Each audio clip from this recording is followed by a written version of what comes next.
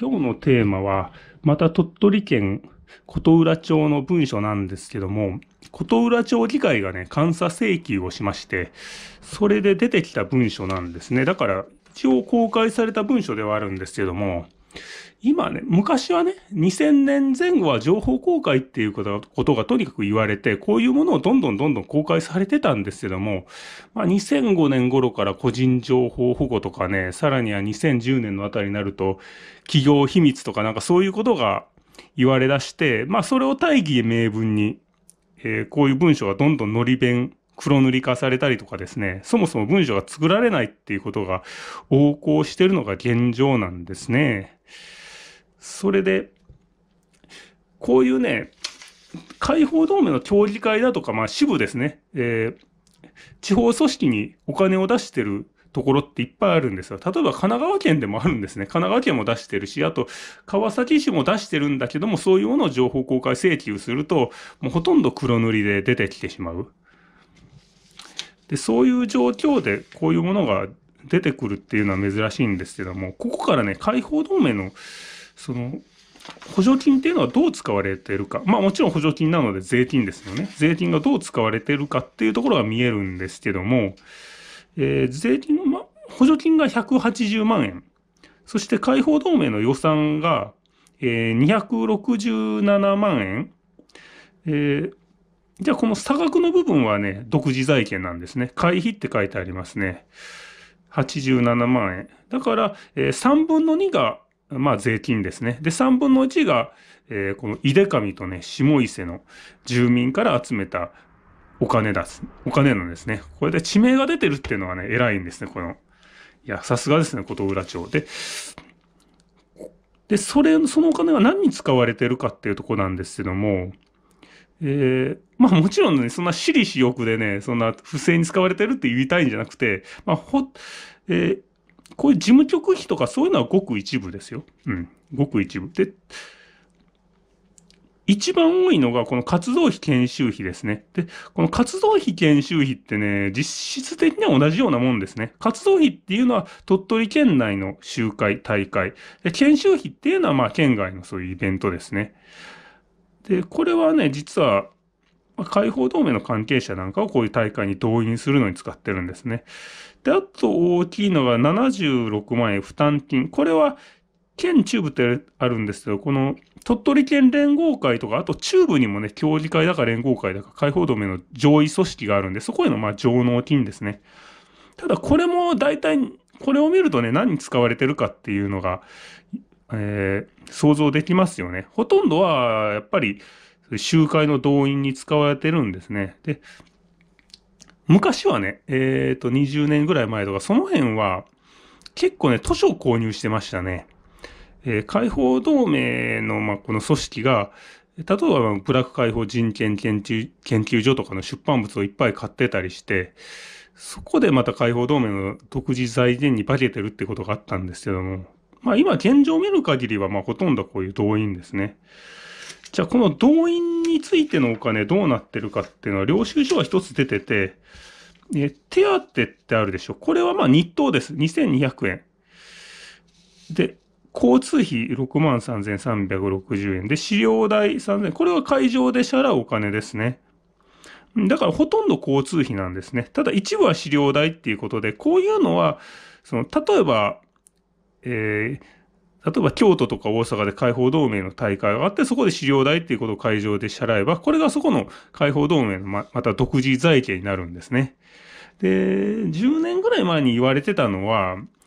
その会場を借りて、それで解放同盟がなんか集会やるじゃないですか。その時に、まあ会場費は免除されるし、で、その運営費用もまた地元の自治体が税金で出してるので、こんな使用代なんて集めて、集めなくてもいいんだよみたいなことをね、実はとある解放同盟員がぶっちゃけてたんですけども、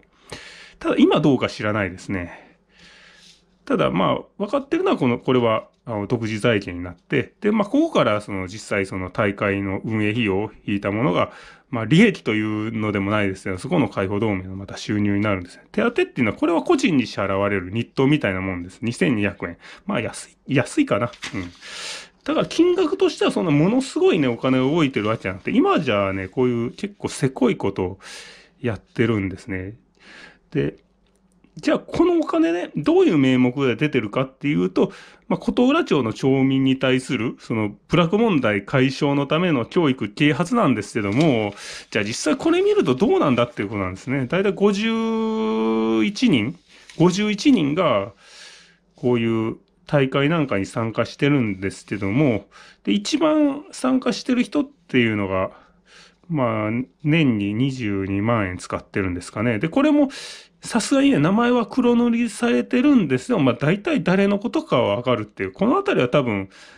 競技会のナンバーワンの人じゃないですかって、これはナンバーツーの人じゃないですかっていうことは、まあ、大体わかる人にはわかるらしいんですけども、ただこれを見ると、結局何に使ってるかっていうと、解放同盟の関係者が、まあ各地の大会に動員されるために使ってるんですね。例えば、えー、まあ、ブラック解放のね、何々集会がありましたとか言ってね、ローカルニュースだとか、まあ、時には全国ニュースなんかで、まあ、何百人、何千人参加しましたってあるんですけども、まあ、実態はこういうことなんですね。結構な人数が税金で動員されてるとじゃあ、これが、その、琴浦町におけるブラック差別の解消の何に役に立つのかって言ったら多分ならないですよね。こういう各地の集会に、まあ、解放同盟員動員しましたからって言って、そんなんね、町民にとってはどうでもいいことで、えー、ただただその、集会にこれだけ集めましたよっていう、まあ、孤児ですよね。えー、結局こういう政治的な集会っていうものが、この税金で維持されてる、まあ、解放同盟の箔付けに使われてるっていうのが、まあ、この予算書でわかるというのが、まあ、今回のお話です。最後、これおまけの資料なんですけども、琴浦町議会に、松田道明から公開質問状5回目っていうのが出る、出てるんですけども、これは何かっていうと、元社会党のね、えー、まあ、元県議会議員が、えー議会がその童話情勢をどんどん縮小してることについて、あれこれあれこれ文句言って、で、こうしつこくしつこく公開質問状を出したもんだから、もう議会としてはもうめんどくさいから回答しないよって言われて、それに対してさらに文句を言ってるっていう、まあすごくしょうもない話ですね。あと、これは、琴浦町、あらゆる差別をなくする審議会というのの資料なんですけども、まあ、これね、おかしいなと思ったのは、要はね、えー、審議会っていうのは町の執行部ですね。えー、議会とはまた全然関係ないんですけども、その審議会が、えー、議会が決めたことについてあれこれあれこれ言ってるっていうことですね。まあこれは、まあ審議会が悪いっていうよりは、その町長がね、この審議会に諮問したからこういうことをまあしないといけなくなったんですけども、えー、本来ね、えー、その地方自治体が何をやるかっていうのは、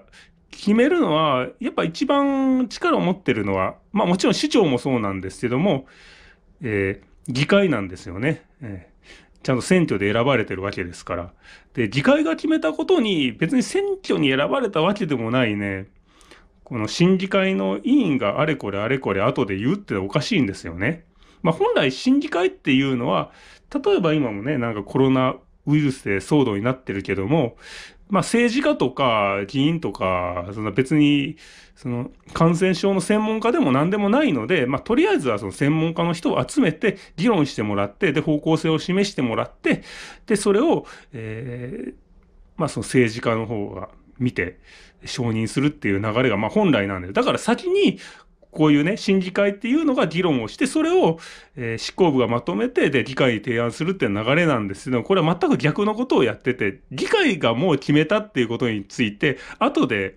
審議会があれこれ言ってるわけですよ。だけど、もう議会はもう選挙で選ばれた人が決めてしまったわけだから、それに審議会があれこれ言ったって覆るわけじゃないんですよね。だから何のためにこんな審議会やってるのと、まあ、審議会に出てる人もね、これも日当支払われてやってるわけなんですけども、一体なんでこんなことにね、税金使うんだっていう話なんですよね。うん、